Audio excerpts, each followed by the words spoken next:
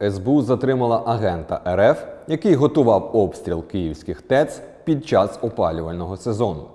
Контррозвідка Служби безпеки провела на Київщині багатоетапну спецоперацію, у результаті якої затримано ще одного агента головного управління Генштабу Збройних сил РФ, більш відомого як ГРУ. Зловмисником виявився директор департаменту однієї із столичних страхових компаній, якого російська воєнна розвідка дистанційно завербувала після початку повномасштабного вторгнення країни-агресора.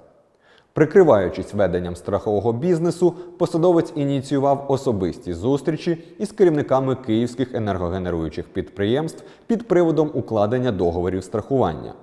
Але насправді він використовував цю тему як привід, щоб дізнатися від співрозмовників максимум інформації про факти та наслідки російських прильотів по українських об'єктах критичної інфраструктури. Насамперед його цікавили відомості про масштаби пошкоджень і актуальний технічний стан атакованих агресором електростанцій у Києві. Усі отримані розвіддані ворожий агент передавав через месенджер своєму московському куратору, кадровому співробітнику російського ГРУ.